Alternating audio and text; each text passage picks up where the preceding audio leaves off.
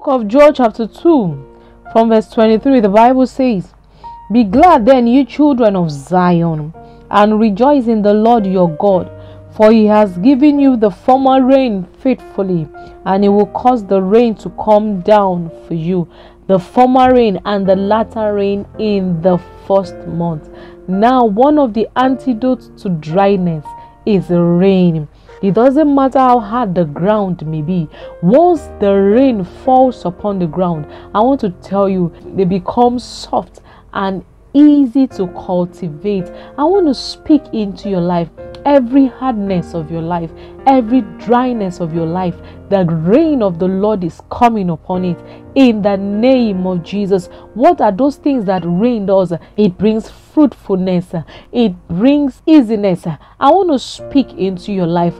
What is that thing that is so hard you are finding very difficult to do? What is that aspect that you're experiencing difficulty? What is that angle of your life that you are experiencing problems? I want to speak into your life that the rain of the Lord is falling upon it right now in the name of Jesus. The rain of the Lord is falling upon it right now in the name of Jesus. You have cultivated the ground. You have cultivated the ground for so long, but the ground is not yielding its fruits for you. The ground is not opening up for you. I speak into your life as you're watching this video right now. The ground is opening up for you. It is bringing out good things for you in the name of Jesus. It is yielding good things for you right now in the name of Jesus. It is bringing forth great fruits for you in the name of Jesus. It is bringing forth products, great produce for you in the mighty name of Jesus. You begin to eat the fruit of your labor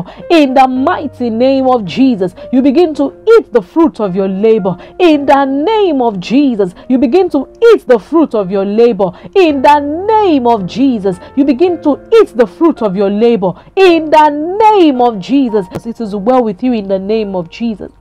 It is well with you in the name of Jesus. Your dryness are over in the name of Jesus. The days of your dryness are over in the name of Jesus. Experience the abundance of rain of the Lord in the name of Jesus. You shall experience comfort in the name of Jesus. You will experience easiness in every aspect of your life in the name of Jesus. Whatsoever you experience, whatsoever you are you're finding very difficult to achieve, I speak as the rain of the Lord is coming upon you. Begin to do it with ease in the name of Jesus. Begin to do it with ease in the name of Jesus. Begin to do it with ease in the name of Jesus. Now make this declaration and this affirmation and say, My days of dryness are over. The days of my dryness are over in the name of Jesus. What I find very difficult to do, I begin to do them with ease in the name of Jesus. What I am struggling with, I begin to do them with ease in the name of Jesus. What I find it very difficult to do, I begin to do them with ease in the name of Jesus. As you have made this declaration, I speak, so shall it be in the name of Jesus. What you are finding very difficult to do, I speak into your life. You begin to do it with ease in the name of Jesus. You begin to do it with ease in the name of Jesus. You begin to do it with ease in the name of Jesus. You begin to do it with ease in the name of Jesus. So shall it be for you. In Jesus' name we have prayed. Amen. God bless you.